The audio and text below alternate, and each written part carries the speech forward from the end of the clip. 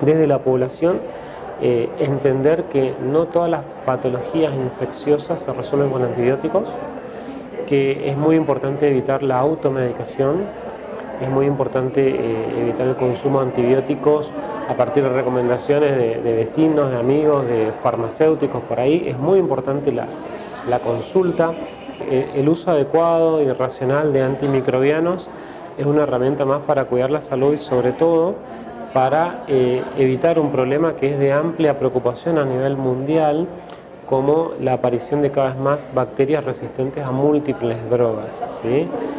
Todo lo que nosotros podamos hacer destinado a usar de manera racional los antibióticos es un aporte muy muy importante. Y siempre eh, vuelvo a repetir en que la, indicación del antibiótico tiene que estar razonada, ¿sí? y eso lo hace un profesional con cierto entrenamiento en el, manejo de infecciones. ¿Por qué debe ser razonada? Porque no hay un antibiótico que sirva para todo. Cada antibiótico tiene su utilidad en determinado tejido u, órgano y para tratar determinados microorganismos y otros no. Y, eso entonces implica que quien maneja este tipo de tratamientos tenga una experiencia determinada como para poder indicarlos de manera adecuada.